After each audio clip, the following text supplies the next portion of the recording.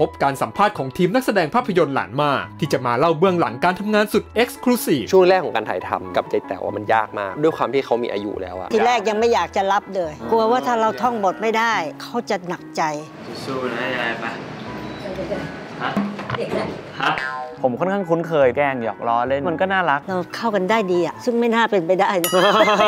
Special Interview จับเข่าเล่าหนังหลานม่า วันอาทิตย์ที่ 7 เมษายนนี้เวลา 10 โมงตรง ทางช่องวัน 31